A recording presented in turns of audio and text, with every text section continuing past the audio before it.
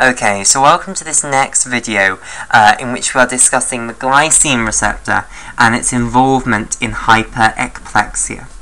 Okay, so we're going to look at a mutation that occurs specifically in uh, the beta subunit of the glycine receptor, which can then lead to hyperekplexia.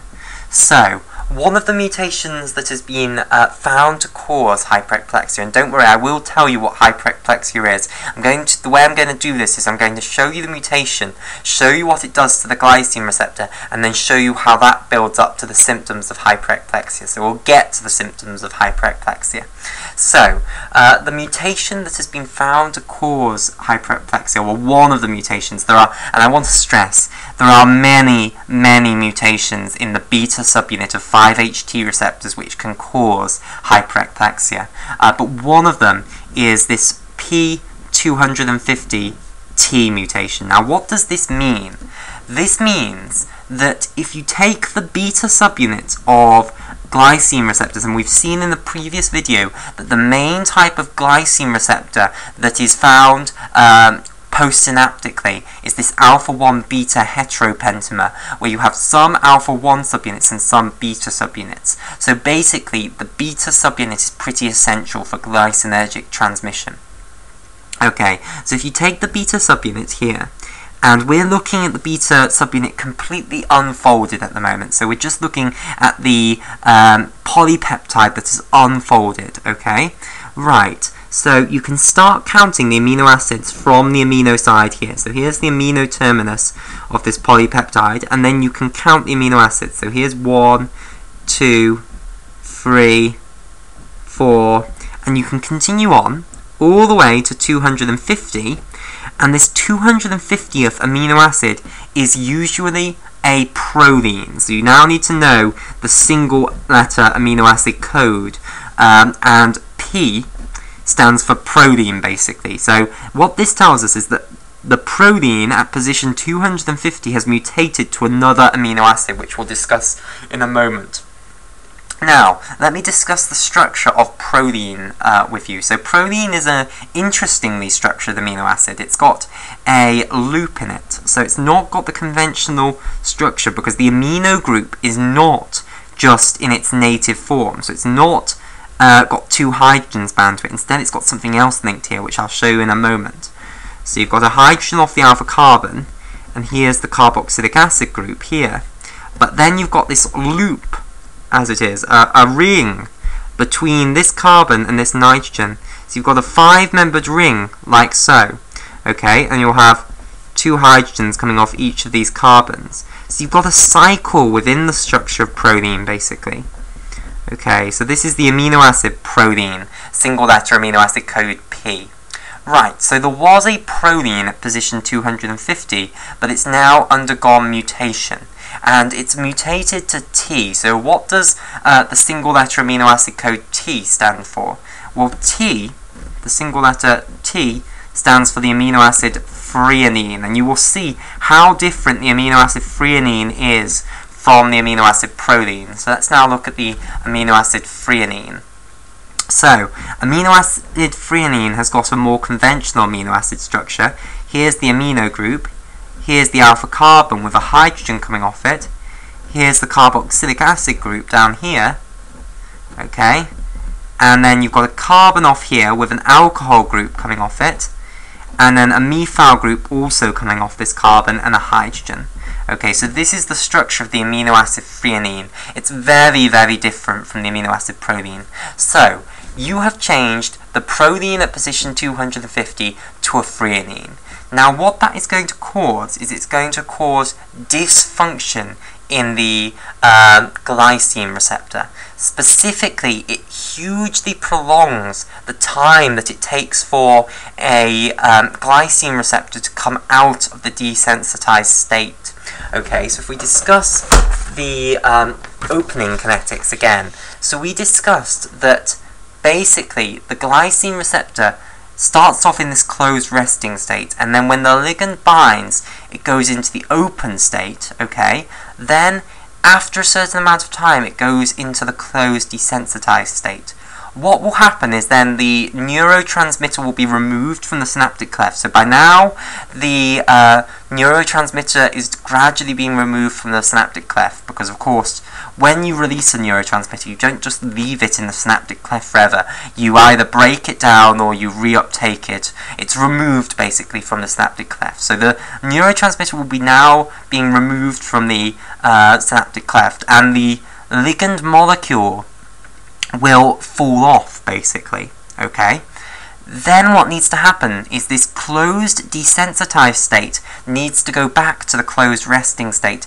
And usually it goes through the open state. So usually what happens is it goes back to the open state transiently and then instantly, pretty much instantly, it will go back to the closed resting state. Uh, this is because this structure is very different from this structure. And usually what has to happen is to get to this structure, you have to have gone to there and then something else has to happen to turn it into there. And basically you undo this thing that happens to take it from there to there, to take it back to here, and then you undo the change that took you from here to here to take you back to here. So usually you do have to go back into the open state very, very transiently and then you'll just turn back into the closed resting state. Now, um, in um, the um, in this mutant beta receptor subunit, glycine receptors. So we've discussed that the most common form of glycine receptors are these alpha-1 beta heteropentamers, which have both alpha-1 and beta subunits in. So if you've got a glycine receptor which has this mutant beta receptor in it, okay, this P250T mutant beta receptor subunit in it, and then what happens is that beta receptor subunit uh, stops the glycine receptor going from the closed desensitized state to the open state. Well, it doesn't stop it, but it makes this process extremely slow. Okay, so let me now describe for you what will happen. So it will start in the closed resting state, some glycine will come along, it will go into the open state, it will then go into the closed desensitized state, the neurotransmitter will be removed from the synaptic cleft, so the glycine is now gone, and the um, the glycine receptor should now return to the closed resting state via this pathway. But now it's just going to remain in the closed desensitized state for ages and ages and ages and ages and ages. Now if the inhibitory interneuron then fires another burst of glycine, what will happen? Well, all of the receptors are going to be in this closed desensitized state, so yes, maybe the ligand will bind, but it's not going to do anything because it's just in the closed desensitized state. It hasn't actually gone back to this form. So even if the ligand binds, it will just remain in the closed desensitized state. It won't open. So you won't get any chloride anions coming in. You won't get any inhibitory postsynaptic uh, current. Okay, so what's going to happen is the amount of inhibitory postsynaptic current that your alpha motor neuron is going to receive is going to go down. Okay, and we know what that causes.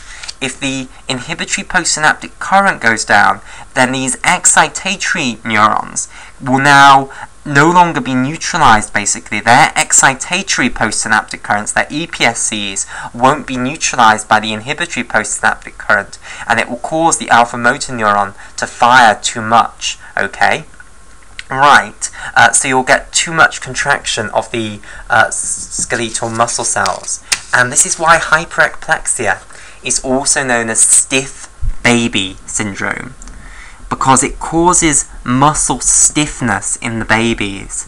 Um, so babies born with this hyperekplexia, uh, they have they're very very stiff because their muscles are just continuously contracting basically.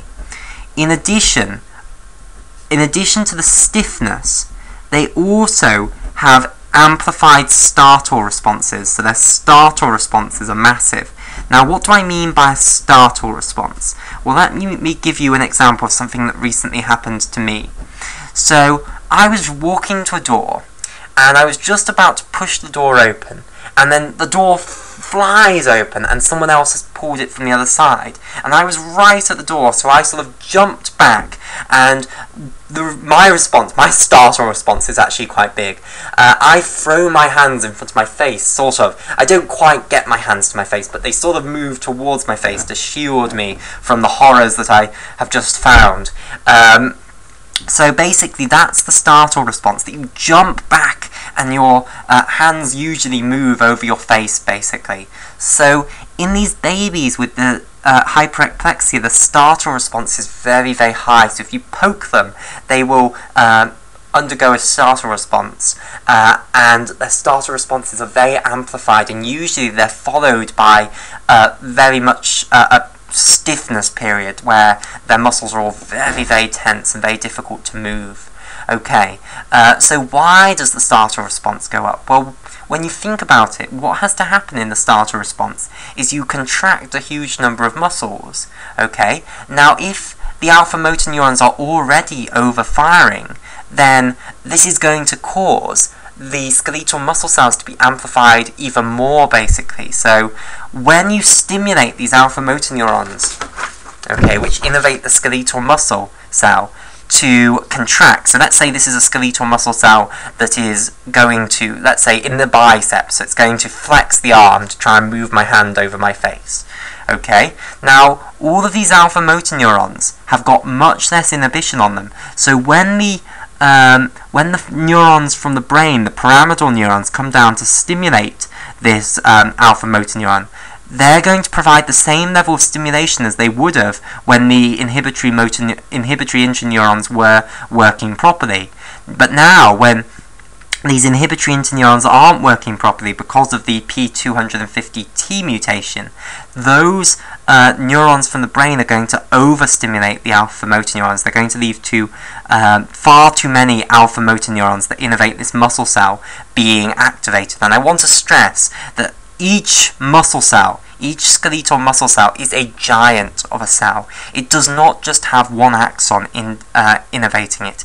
It has a whole bunch of motor neurons sitting in here which all innervate this single skeletal muscle cell. And this is known as the motor neuron pool for that skeletal muscle cell. Okay? So this is the motor neuron pool, and each skeletal muscle cell will have a motor neuron pool.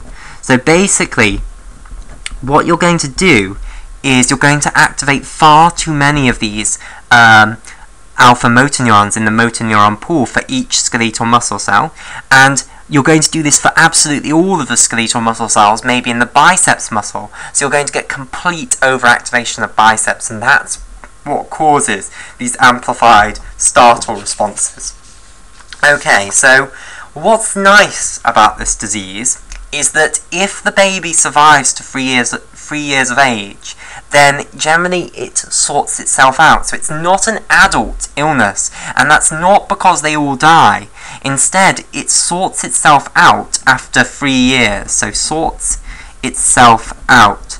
So something happens, and this isn't understood itself out um, after three years something changes. The body adapts, basically. It realizes, the body realizes that there is a problem here, that the alpha motor neurons aren't receiving enough inhibition, and something changes that means that uh, this lack of glycinergic transmission uh, is no longer a problem, and we don't know what that is. Okay, but for some reason, after three years of age, this is not a problem anymore. Okay, the problem, the bad news, that's the good news. The bad news is that 25% of people born with hyperekplexia don't make it to their third birthday. And the reason that they don't make it to their third birthday is the diaphragm. The diaphragm needs to contract rhythmically in order for us to breathe. It needs to contract and relax. If you get hyperexcitation of the diaphragm, then it's just going to remain contracted and contracted and it won't relax. And if you don't relax the diaphragm, then uh, you don't um, you don't go through the proper respiratory cycle, basically. Okay, uh, so you don't breathe. Right. Uh, so um, basically, these babies often die of apnea. Okay, so this is a nice word, revising our respiratory physiology apnea, and it has two spellings, confusingly. This really horrible spelling, apnoea, apnea, and then the more common sense spelling, which is apnea. So your old boy physiologist will use this one and insist that you use this one. Um, most modern, reasonable people will be fine with you using this one. Okay, so apnea means that you stop breathing. This is a temporary um, cessation of breathing. Temporary cessation of breathing. So basically what happens is generally the babies will be put to sleep, uh, sorry, not put to sleep, that's awful. Uh, they'll, they'll go to bed and then they'll stop breathing at some point when they're asleep. And, um, um, and then if they stop breathing for long enough, then they're going to die. Okay, so Apnea then leads to asphyxiation, basically. So asphyxiation is another good word. Asphyxiation. Asphyxiation means dying because um, you aren't breathing, basically. It means dying because you aren't getting enough oxygen to your brain, to your heart, to your liver, to your organs, to your body. Uh, and it's because your lungs just aren't working, your respiratory system is just not bringing the oxygen into the lungs uh, so that it can go around the body. Okay, so these children often die of asphyxiation due to uh, apnea, which results as uh, because of the stiffness that the uh, hyperexia causes. Okay, so we'll continue this discussion in the next video.